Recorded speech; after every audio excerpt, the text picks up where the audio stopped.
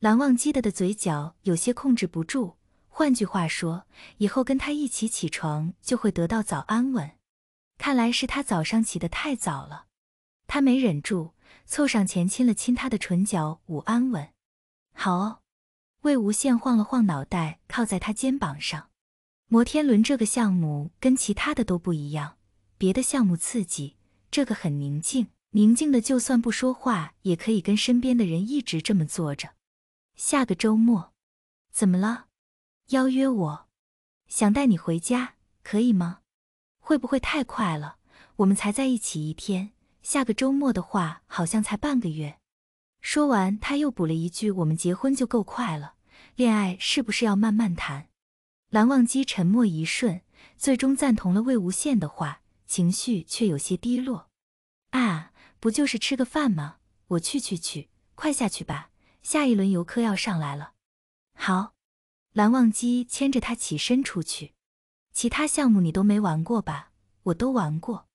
他骄傲的很。等不忙的时候，我带你过来都玩一遍。好。其他项目没能玩到，蓝忘机把他拉回去布置小家去了。两人把魏无羡的小房子收拾好，就住了进去。周一，蓝忘机送他去上班。魏无羡有个紧急文件，系好安全带就一直看着，下车也匆匆忙忙。蓝忘机也安静，全程没说什么话。魏无羡急着上去处理，说了一声“我走了”就下了车。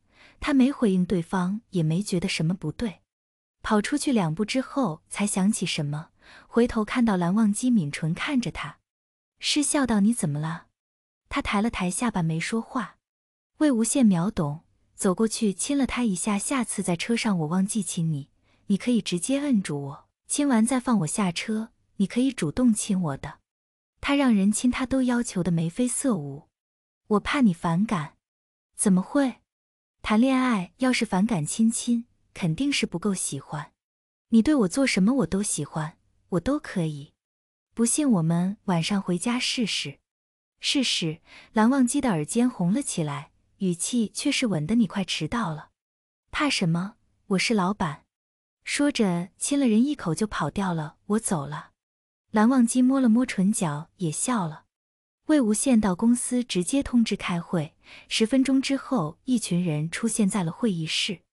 这次是某个投资商非要塞人过来，不行就撤资。导演方是奔着冲奖去的，自然不肯。加上是跟魏无羡关系不错，说话也硬气。虽然不是什么大事情，但一整条练下来，很多事情就得搁置。开机时间往后退。场地费、群演费和其他的费用就往上翻。开了个短会之后，聂怀桑带着文件进来了。要不我直接补上这个窟窿吧？这个钱咱们也不是出不起。这不是出不出得起的问题，后续带动一堆呢。你出了，外头人一看以为是家庭作坊，后续宣传力度跟不上。哎，那怎么办呢？让江城再投一下。你还不如让你大哥投。哈哈，我哥不会答应的。没事，我等会问问别人。他揉了揉眉心，先你邀了几条重点内容，让手下的人去做，接着才翻起列表的人准备打电话。蓝忘机的电话先一步打进来。喂，怎么了？才两个小时，想我了？嗯，中午想吃什么？要出去吃吗？我，我订好餐去找你，知道你忙。魏无羡失笑，心情好了起来，转着笔道：“你可太贴心了，我想喝汤，椰子鸡汤就不错。好，喝点水。工作很忙吗？”蓝忘机感觉到他的声音有点哑。嗯，有个投资没了，合同要重新拟。他头疼的按了按眉心。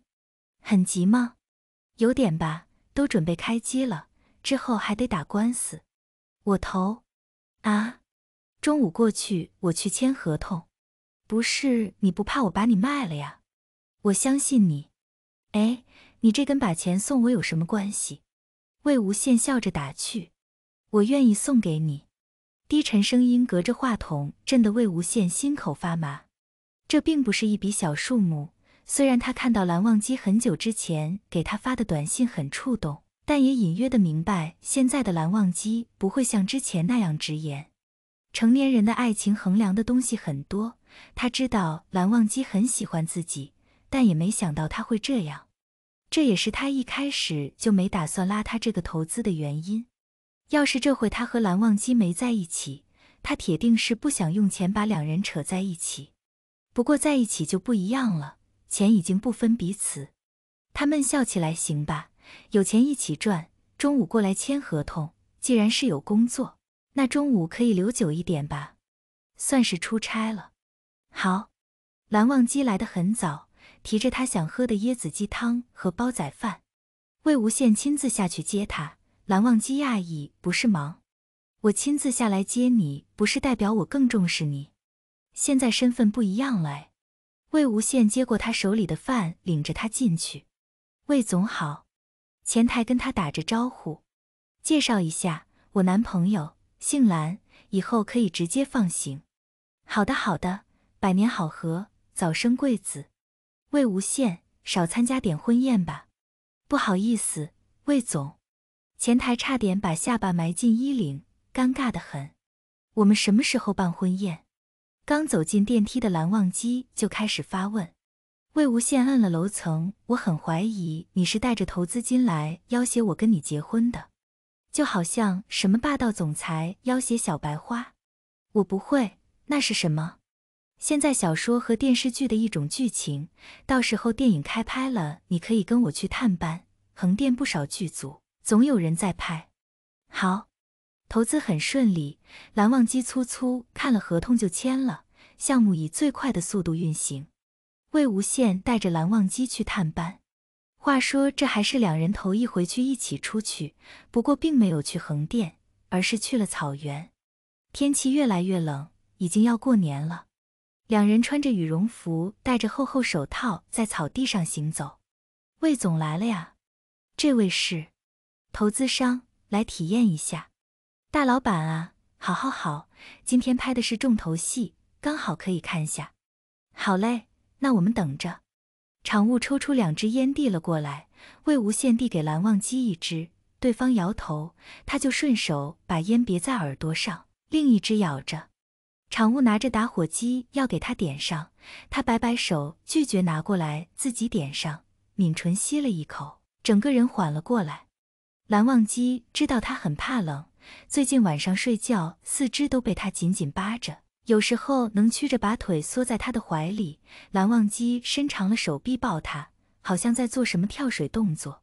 于是家里多了很多地毯袜，有麋鹿的、小企鹅的、小豹子、条纹小猫的，搞得魏无羡以为他是有什么癖好。